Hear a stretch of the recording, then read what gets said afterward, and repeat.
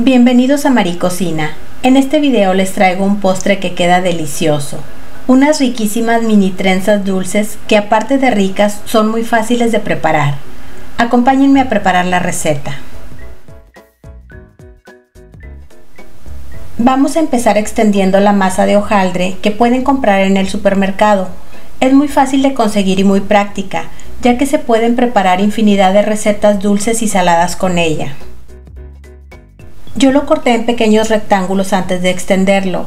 Lo estoy extendiendo a que quede de unos 3 o 4 milímetros aproximadamente y ahora le recortaré las orillas para que quede mejor. Dependiendo del hojaldre que consigan, lo pueden extender todo y ya que tengan el grosor deseado, lo pueden recortar con un cuchillo o con tijeras de cocina en rectángulos del tamaño que les guste. Enseguida le colocaré una rebanada de ate de guayaba como pueden ver en el video y encima otra de queso crema que como está a temperatura ambiente lo puedo extender muy bien por todo el ate. Para formar la trenza voy a hacer unos cortes en los extremos para que nos quede bien cerrada. Aquí le dejé mucho espacio para poder mostrarles muy bien, pero pueden dejarle un poco menos arriba y abajo. Le estoy cortando ahora una especie de triángulos que voy a retirar y enseguida iré cortando líneas inclinadas que quedarán como unos tablones con los que será muy fácil formar la trencita. Terminando de cortar las líneas a ambos lados, en la parte de abajo haré lo mismo que en la parte superior. Y ya puedo empezar a armar la trenza, solo tengo que doblar los extremos para que quede bien cerrada y como pueden ver es muy fácil. Aquí esperé a terminar de formarla para cortar lo que sobre al final y listo.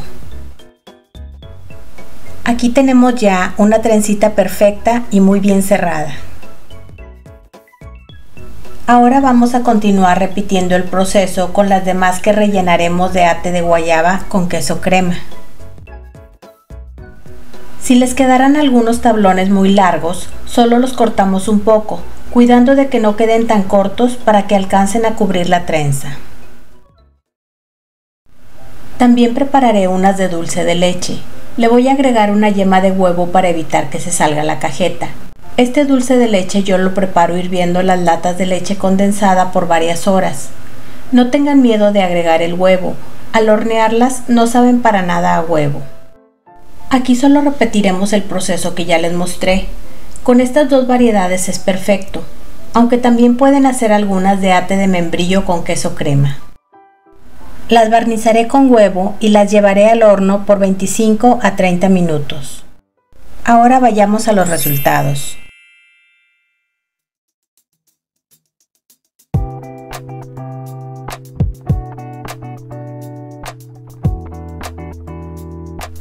Vean qué deliciosas trenzas hicimos y con muy pocos ingredientes. Son realmente muy sencillas y quedan muy bonitas. Vamos a partir una para que la vean mejor.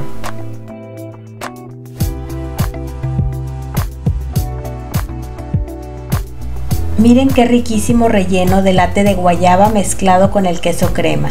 Esta combinación es perfecta. Les agradezco que hayan llegado hasta el final del video. Espero que les haya gustado la receta y se suscriban al canal si aún no lo han hecho. También activen la campanita de notificaciones para que les avise cada vez que yo suba un nuevo video. Nos vemos en la siguiente receta.